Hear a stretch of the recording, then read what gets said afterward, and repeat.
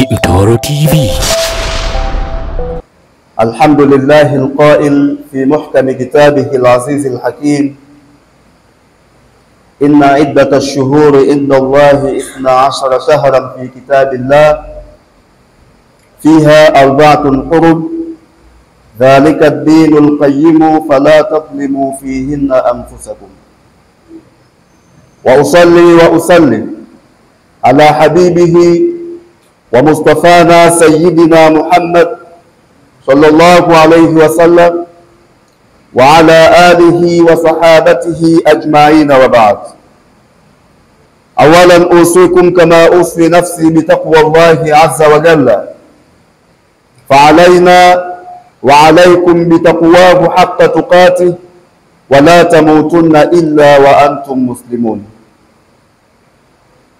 Awali ya yote, baada ya kumshukuru Mwenyezi Mungu Subhanahu wa Ta'ala, sambamba na kumtakia rahma na amani kipenzi cha umma huu mtume wetu Muhammad sallallahu alaihi wasallam, nachukua nafasi hii katika kuwahusia sambamba na kutowahusia katika nafsi yangu kumcha Mwenyezi Mungu Subhanahu wa Ta'ala. Tujitahidi kufanya kila kinachowezekana makusudio yake utakapotufika umauti utukute katika hali, sifa na mazingira ya kumcha yeye Mwenyezi Mungu Subhanahu wa Ta'ala. Tumekutana katika Ijumaa ya leo kwa lengo la kutekeleza ibada ya Mwenyezi Mungu Subhanahu wa Ta'ala. Katika wengi siye tumepata bahati ya kukumbuka tukatoka kwenye makazi yetu na majumba yetu tukaacha maduka yetu tukaja kwa ajili ya kutekeleza ibada ya Mwenyezi Mungu Subhanahu wa Ta'ala. Kuna wengi walitamani kudiriki swala hii ya Ijumaa, lakini wapo kwenye vitanda kuwa ni wagonjwa. Kuna wengi walidhani wataamka, lakini Mwenyezi Mungu Subhanahu wa Ta'ala tayari ameshauchukua uhai wao. Mimi na wewe bado tuna fursa ya kujipinda katika kumwabudu Mwenyezi Mungu Subhanahu wa Ta'ala. Mwenyezi Mungu Subhanahu wa Ta'ala anatwambia katika Qur'an, Bismillahir Rahmanir Rahim, inna iddata ash-shuhuri inda Allahi ithna ashara shahran fi kitabillah. Fiha arba'atun hurub. Dhalika ad-dinul qayyim fala taklimu fihinna anfusakum. Tukiwa tupo katika mmoja ya miezi mitukufu, tupo katika mwezi wa Muharram, mwezi ambao Mwenyezi Mungu Subhanahu wa Ta'ala ametoa tangazo lake katika Qur'an, katika mjumuiko ule aliposema, hakika idadi na hesabu ya miezi kwa Mwenyezi Mungu Subhanahu wa Ta'ala ni miezi kumi na mbili. Utaikuta katika kitabu cha Mwenyezi Mungu Subhanahu wa Ta'ala cha Qur'an. Katika miezi hiyo kumi na mbili kuna miezi minne ni miezi mitukufu mno. Dhalika dinu qayyim, na hiyo ndiyo dini iliyokuwa ya sawasawa. Fala tadhlimu fihinna anfusakum, musije mkadhulumu katika miezi hiyo nafsi zenu. Mwenyezi Mungu anatoa tangazo kwamba idadi ya miezi tunayoishi nayo ni miezi kumi na mbili. Ndani yake kuna miezi minne ambayo ndiyo mitukufu zaidi. anakwambia msije mkadhulumu nafsi zenu katika miezi hiyo. Moja ya miezi hiyo ni mwezi tuliokuwa nao, mwezi wa Muharram, mwezi ambao unaotufanya sie kama Waislamu kuhama kutoka kipindi kimoja kwenda kwenye kipindi kingine. Katika mwaka wa Kiislamu, mwaka wetu unabadilika unapoingia mwezi mosi Muharram, tunasema tumeama kutoka kwenye mwaka jana, tumeingia katika mwaka mpya. Mwaka mpya wetu wa Kiislamu ni Muharram, mwezi huu wa mfungo nne ambao ndo tunasema ni mwezi wa kwanza katika Uislamu. Mwenyezi Mungu Subhanahu wa Ta'ala anatoa tangazo lake. Kwa kuwa tupo katika mwezi huo, fala tadhlimu fihinna anfusakum, ndani ya mwezi huu wa Muharram usije ukaidhulumu nafsi yako. Jitahidi kuyafanya yaliyokuwa mazuri, jitahidi kuishi vizuri na jamii unayokwenda nayo, jitahidi kufanya ushirikiano mzuri na watu, jitahidi kuepuka yote yanayomkera Mwenyezi Mungu Subhanahu wa Ta'ala. Fala tadhlimu fihinna anfusakum, usiidhulumu nafsi yako katika miezi hii mitukufu. Lakini pia ninachotaka kusema kwamba miezi mitukufu ipo minne, mmojawapo ni mwezi wetu wa Muharram. Kwa nini mwezi huu umeitwa kwa jina hili la Muharram? Kwa nini mwezi tuliokuwa nao Mwenyezi Mungu Subhanahu wa Ta'ala kwa kupitia mtume wake Muhammad sallallahu alayhi wasallam na masahaba pia, mwezi huu ukapewa jina la Muharram. Kwa nini unaitwa Muharram? Tujiulize hapo.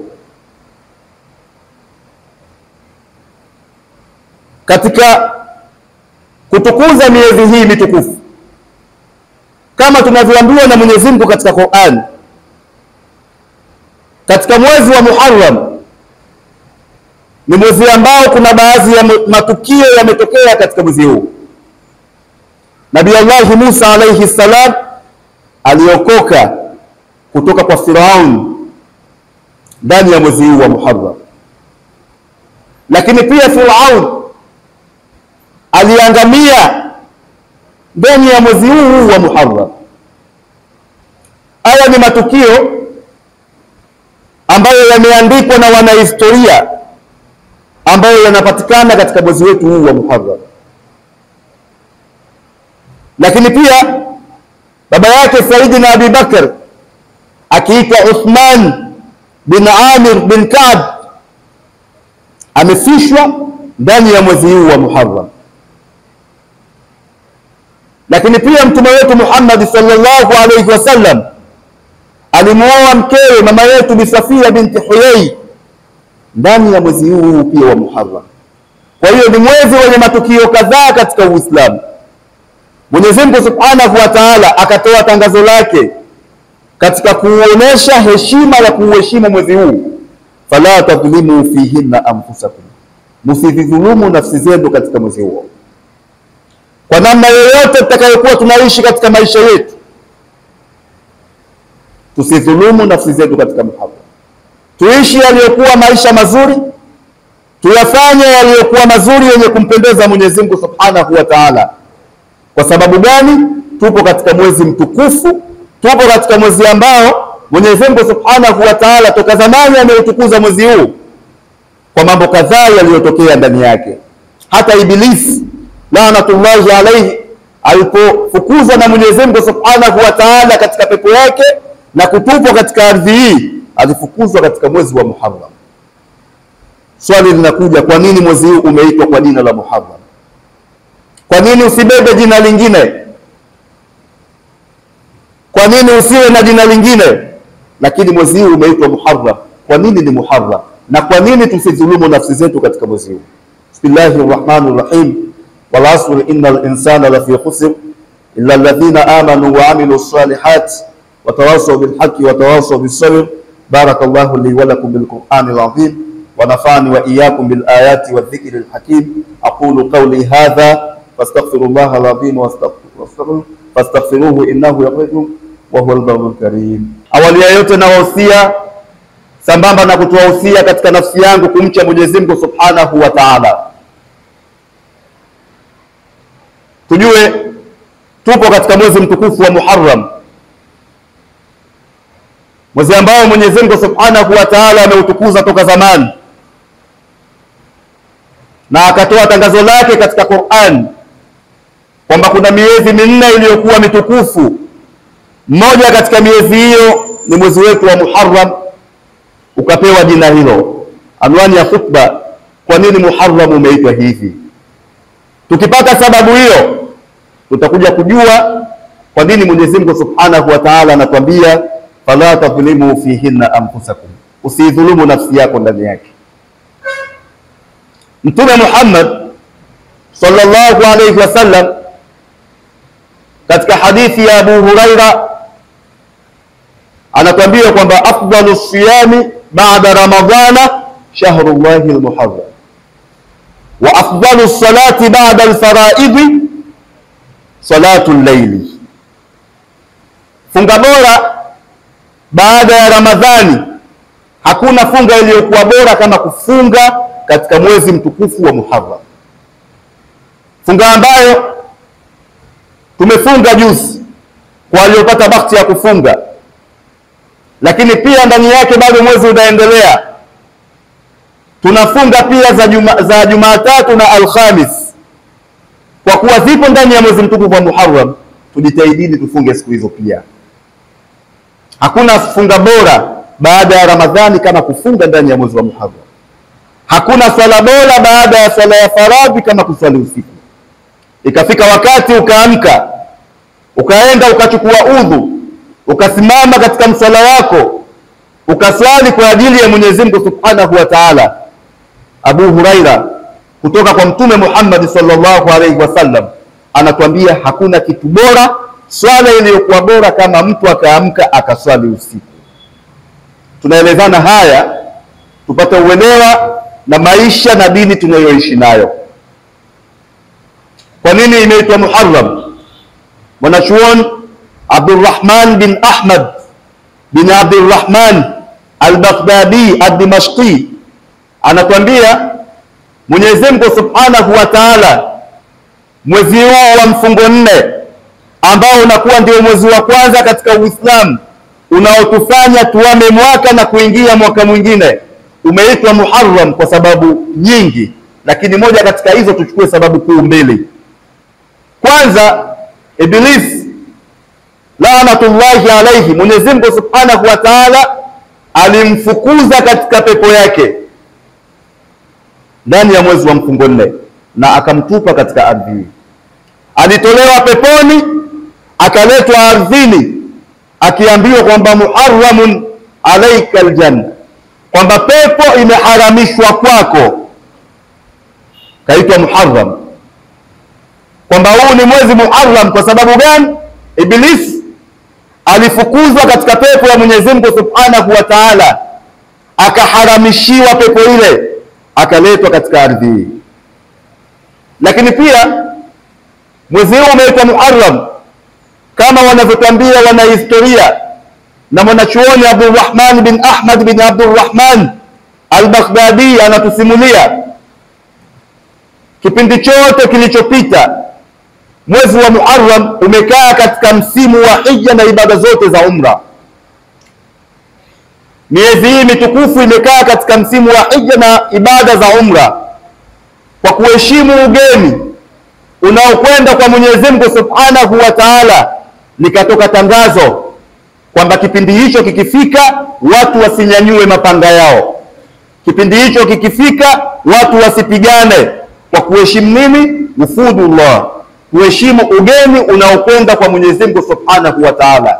Watu wanamiminika Arafat kwa ajili ya hija na watu watamiminika Arafat katika miezi inayofuata kwa ajili ya ibada ya umra. Mwenyezi Mungu Subhanahu wa Ta'ala akaharamisha mapigano katika mwezi huu wa mfungo nne kwa kuheshimu wageni wanaomjia yeye Mwenyezi Mungu Subhanahu wa Ta'ala, ukaitwa Muharram pia, kwamba ni mwezi ambao yamesitopishwa mapigano, mwezi ambao yamesitopishwa mambo mengi kwa kuwaheshimu wageni wa Mwenyezi Mungu Subhanahu wa Ta'ala. Inna iddata shuhuri inda Allahi ithna ashara shahran fi kitabillah, hakika idadi ya miezi kwa Mwenyezi Mungu Subhanahu wa Ta'ala ni miezi kumi na mbili. Ndani ya miezi kumi na mbili kuna miezi minne iliyokuwa mitukufu. Fala tadhulumu fihinna anfusakum, usiidhulumu nafsi yako katika miezi hiyo. Mwenyezi Mungu Subhanahu wa Ta'ala ameharamisha mapigano. Mwenyezi Mungu Subhanahu wa Ta'ala amezuia mifarakano na mivurugano kipindi ambacho watu wanamjia yeye kama wageni wake katika nyumba tukufu ya Makka, na siye tuyaache yote yaliyokuwa mabaya, tuende katika radhi ya Mwenyezi Mungu Subhanahu wa Ta'ala, tuyafanye yaliyokuwa mazuri, tufanyiane yaliyokuwa mema kwa kuheshimu mwezi huu wa Muharram, kwa kuheshimu mwezi ambao Mwenyezi Mungu Subhanahu wa Ta'ala ameufanya uwe hivyo kwa kuwaheshimu na kuwakirimu wageni wake. Pamoja na yote, tujue Mwenyezi Mungu Subhanahu wa Ta'ala anatuamrisha kumswalia mtume wake Muhammad sallallahu alaihi wasallam aliposema, inna Allaha wa malaikatahu yusalluna ala nabi ya ayuha alladhina amanu sallu alayhi wa sallimu taslima اللهم ارضى الأربعة الكرام خصوصا أمير المؤمنين سيدنا أبي بكر الصديق عمر بن الخطاب وعثمان بن عفان وعلي بن أبي طالب. اللهم اغفر للمؤمنين والمؤمنات والمسلمين والمسلمات الأحياء منهم والأموات. اللهم افتح لنا فتوح العارفين فتوح الأنبياء والعلماء والشهداء والصالحين. عباد الله إن الله يأمر بالعدل والإحسان وإيتاء ذي القربى وينهى عن الفحشاء والمنكر والبغي يعظكم لعلكم تذكرون. فاذكروا الله العظيم يذكركم واشكروه على نعمه يزدكم ولذكر الله أكبر والله يعلم ما تصنعون. أكمل الصلاة. Hii ni Mtoro TV.